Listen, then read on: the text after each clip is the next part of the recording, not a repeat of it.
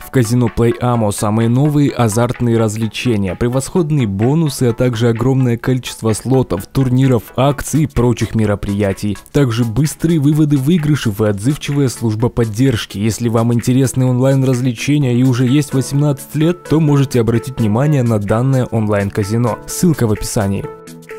Мы то и дело слышим о том, насколько российский автопром ужасен, и не дай бог кому-нибудь купить Ладу Калину, проблем не оберешься. И тут мало с чем можно поспорить, но в истории российских или советских автомобилей бывало разное. То и дело у конструкторов появлялись гениальные идеи, но по разным причинам прототипы так и не вышли на конвейер. Сегодня мы посмотрим на самые невероятные российские автомобили, которые так и не вышли.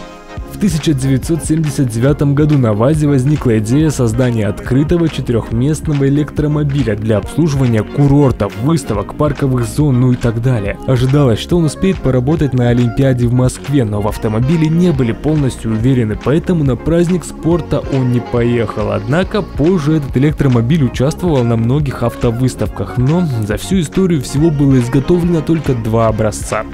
ВАЗ Porsche 2103 – результат сотрудничества компании Porsche с ВАЗом в 70-е годы прошлого века. Да, было и такое. Конструкторы Porsche предложили вот такой вот дизайн, у конструкторы ВАЗа с машины убрали весь хром, включая молдинги и металлические хромированные бамперы, заменив последние пластиком в цвет кузова. Но в итоге автомобиль вовсе не вышел, а вышел ВАЗ-2106, оказавшийся проще и дешевле в освоении.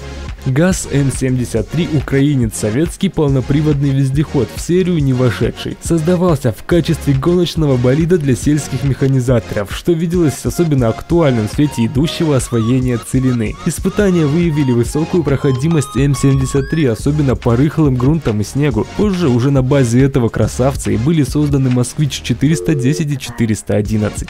Во второй половине 80-х годов на ГАЗе началась разработка нового представительского легкового автомобиля ГАЗ-3105, который впоследствии стал мелкосерийным. А серийный выпуск автомобиля около 250 экземпляров в год должен был начаться в 1990 году, однако исчезновение основного заказчика ЦК КПСС значительно отодвинуло эти планы. А какой был крутой автомобиль, учитывая то, что иномарки в то-то время особо не блистали дизайном.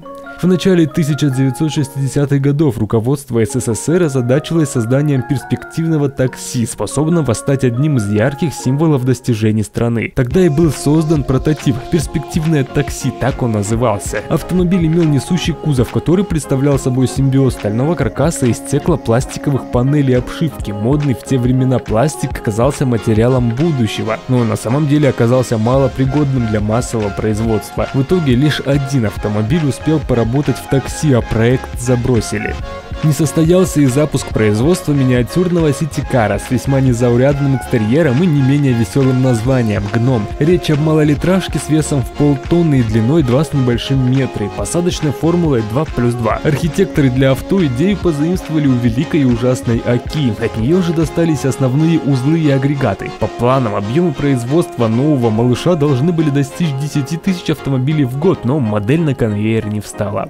Переняв опыт западных коллег, вазовские мастера из центра стиля решили удивить мир созданием первого советского автомобиля с открытым верхом. Так на свет родилась Тарга, в основу которой легла стремительно набирающая популярность восьмерка. В салоне установили каркас безопасности, поверх натянули съемный брезент, а в передние стекла врезали форточки. Получилось, надо признать, довольно необычно, прям как из фильма «Назад в будущее».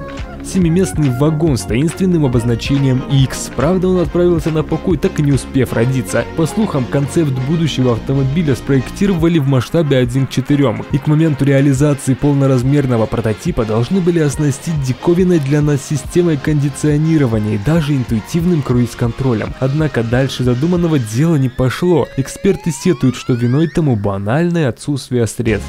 Ну и, пожалуй, самым интересным вазовским проектом прошлого века является экспериментальный микровен на электрической тяге. Концепт, в корне ломающий стереотипы о продуктах отечественной автоиндустрии, продемонстрировали общественности в рамках Парижского автосалона 1998 года. Надо отметить, у западных экспертов новинка вызвала небывалый интерес. Еще бы ведь, помимо того, что она была крайне эксцентричной внешне, так еще и обладала рядом инновационных примочек. Тольяттинцы интегрировали в рулевое колесо приборный щиток, Кресла в салоне оснастили поворотными механизмами. В целом выглядело все очень круто.